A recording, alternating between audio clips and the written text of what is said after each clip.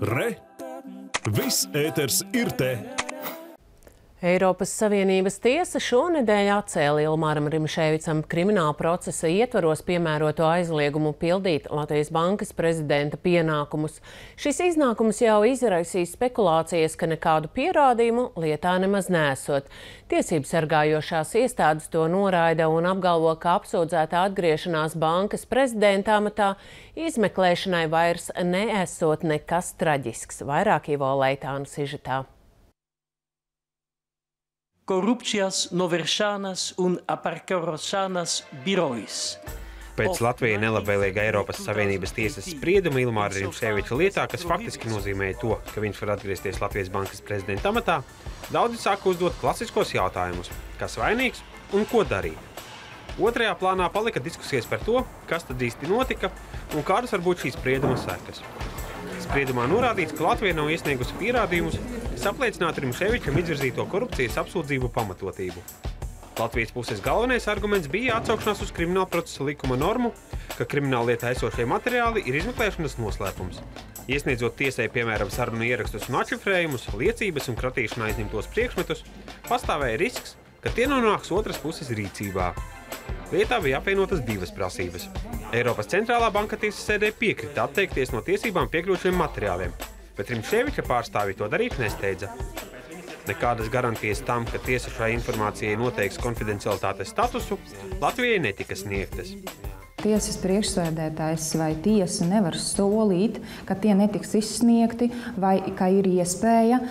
Tas ir risks cerēt, ka ir kaut kāda iespēja, kas vēl nav izvērtēta, kam nav arī skaidri noteikta regulējuma, kas nav skaidri paredzēts, vēlreiz atkārtoju, tas būtu naivi.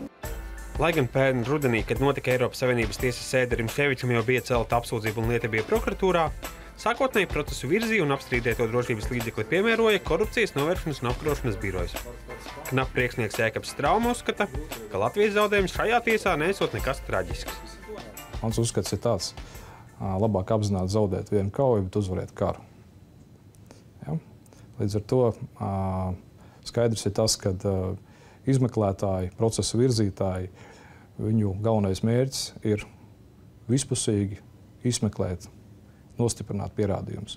Ja pie kādiem apstākļiem, kad varbūt kādu pierādījumu paušana aizstāvjas pusē ir priekšlaicīga, varbūt aizstāvjas puse vēl pat nav iepazīstināta ar šiem pierādījumiem, pierādījumiem un nav, nav pieņemts liecības, kas izskaidro teiksim, pierādījumu un tā tālāk. Tad uh, pavisam noteikti būtu priekšlaicīgi nu, būtu nepamatot teikt, ka uh, tāda pierādījuma neuzrādīšana nu, ir kaut kādā veidā kaut kas nepareizs. Ne, tieši otrādi. Es uzskatu, ka procesa virzītāji rīkojās pareizi.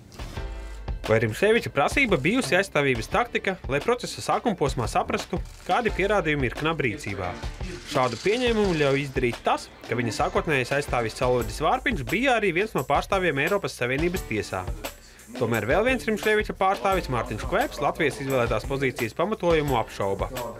Man ir diezgan grūti iedomāties, nu, parādīt tagad Latvijas bankas prezidentam. Nu, es nezinu, kas tur varētu būt. Nu, piemēram, nu, kaut kāds ieraksts, teiksim, vai kaut kāda fotografija, vai vēl kaut kas. Ja?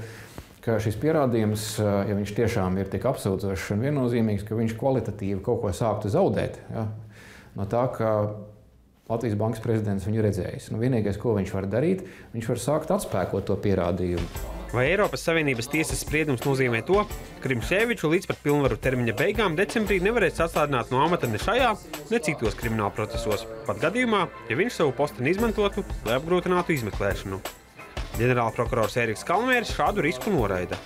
No sprieduma izriet, ka e, Eiropas centrālās bankas e, locekļiem nav krimināla procesuālās imunitātes ne pret kriminālu vajāšanu, ne pret drošības līdzekļiem. Vienīgā prasība ir, ka, ja tiek piemērots drošības līdzeklis, kurš ir pielīdzināms atbrīvošanai no amata, kā tas bija ar aizliegumu veikt noteikts pienākums.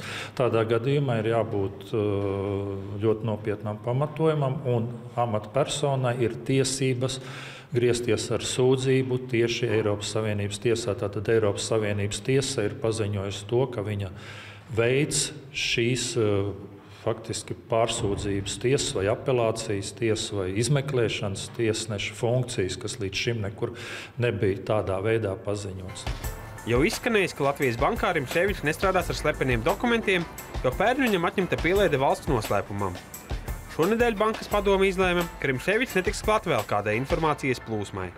Šī informācija, kas jebkādā veidā var skart šo lietu izmeklēšanu, nebūs pieejama prezidentam. Un tā, tā tiks arī, lai netraucētu izmeklēšanu, tā būs, netiks viņam nodota un tiks savādāk, savādākā veidā apstrādāta un apstrādāta bankā. Jā. Tas attiekšoties gan uz ziņām, kas jau sniegtas izmeklētājiem iepriekš, gan iespējams tiks tikai nākotnē. Jāatgādina, ka Rimšēvičs līdz ar uzņēmēju Māri Martinsonu ir apsūdzēts ar Trasta Komercbanku saistītā lietā. Savukārt aizdomās turētā status viņam ir knapi pēc ABLV bankas iesnieguma sāktā procesā par iespējamu kukuļa pieprasīšanu un dienesta stāvokļa ļaunprātīgu izmantošanu. Latvijas bankas prezidents ir arī Finanšu sektora attīstības padomes loceklis. Padomē pēdējā laikā visai bieži apspriestā BLV likvidācijas gaita, bet turpmāk diskusijās varēs piedalīties arī Rimšēvičs. Latvijas bankas pārstāvi ir tajā finanšu sektora attīstības padomē. Līdz šim tur devās prezidenta vietniece vai atbildīgi eksperti. Turpmāk mēs redzēsim, protams, notiks konsultācijas mūsu partneriem valdībā ar, arī ar procesu virzītāju, un tad tiks izlēmts, kurš tad dosies uz šīm sēdēm. Prokurora Viorika Jirgena, kas Rimšēvičam cēlusi apsūdzību Trasta Komercbankas lietā un arī uzrauga knapi izmeklēto procesu par ABLV, uzskata, Latvijas Bankas padomes lēmums lielā mērā novērš riskus, kuru dēļ sākotnēji pieņemts Eiropas Savienības tiesas atcelties drošības līdzeklis. Proti, ka Rimšēvičs savu amatu varētu izmantot, lai traucētu izmeklēšanai. Prokurori nedomā, ka Latvijas bankas prezidents tagad mēģinās ietekmēt padotos, jo saprot, kādas būtu sekas. Izmeklēšanā nu, es kā procesa virzītājs uzsk, nu, noskaidrošu, ka notiek šī pierādījuma no Rimšvītas puses ietekmēšana, tad tās sekas varētu būt tādas, kāds likumā ir paredzēts. Viņam var tikt piemērots smagāks drošības līdzeklis, un tā kā viņam ir piemērots drošības nauda, tad var viņš zaudēt šo drošības naudu. Un tas, kas ir noticis, Rimšēns kundzam ir izskaidrot šī situācija. Viņš to apzinās. Un, piemēram, es domāju, ka viņš ļoti izvērtē tos riskus un saprot, ka nevajadzētu vērsties. Pats Rimšēvičs pēc atgriešanās darbā paziņoja, ka šodien ar medijiem nerunāšot aizņemtības dēļ. Jo jāiepazīstas ar situāciju Latvijas bankā, savukārt nākamnedēļ viņš dosies uz Eiropas centrālās bankas padomes sēdi Frankfurtē. Rimšēviča atgriešanās amatā šobrīd nav mainījusi viņa attieksmi pret saviem pienākumiem krimināla procesā, atzīst prokurora Jirgena.